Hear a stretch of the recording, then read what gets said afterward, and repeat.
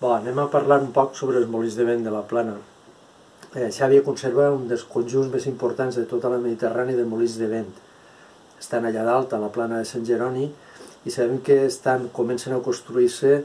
des, de, des de finals del segle XIV. Justament apareixen en un document molt bonic i molt important per a la història de Xàbia, que és la partició de termes entre Xàbia i Dènia del 1397 en aquell document es parla de l'homolí apellat de vent que fa un del monestir de Sant Jeroni. El monestir de Sant Jeroni va tindre una vida molt curta i és d'aquells moments de, de l'últim quart del segle XIV, per tant, aquest molí primer construït, molí de vent construït a la plana, era del monestir de Sant Jeroni era d'aquells moments. Passant els anys van anar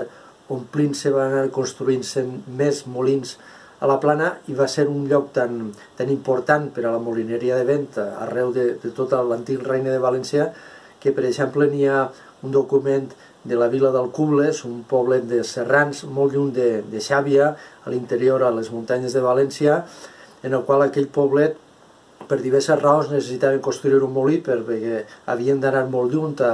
a moldre la, el cereal per a fer farina i havien d'anar desplaçar-se molts quilòmetres de tal manera que la vila d'Alcubles va, va encomanar i va, va pagar a dos personatges el, el, el retorn de la, de la parròquia i el, el mestre d'obres que en aquells moments estava fent el campanar de l'església d'Alcubles perquè anaren a la vila de Xàbia a veure com es feia un molí de vent i buscar un oficial que sabera com es construïen. Això va passar al 1644 i al 1646 a la vila del Cubles es va fer, ja funcionava, un molí de vent suposadament similar als molins de vent de, de Xàbia, de la plana de Sant Jeroni, però que eh, si els molins que encara se'n conserven a la vila del Cubles, la veritat és que no són molt semblants als de Xàbia. Els molins de Xàbia tenen una porta, un accés, eh, que normalment està a, a ponent,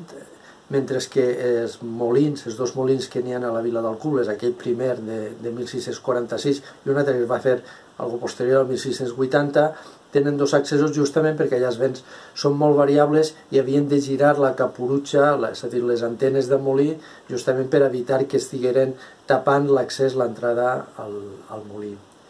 Eh, estos molins van anar, com dic, van anar construint-se al llarg dels segles, a principis del segle XIX o potser a finals del segle XVIII ja estaven construïts els 11 molins de la plana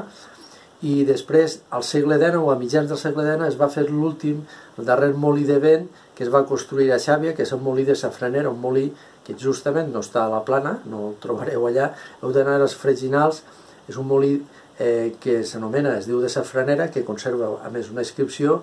eh, en Tosca, no? parlant de qui el va fer, etc. i és de 1850, un molí que té la singularitat de ser el més gran dels molins de vent de Xàbia i a més a més que té dos portes d'accés justament pel que estaven dient des de que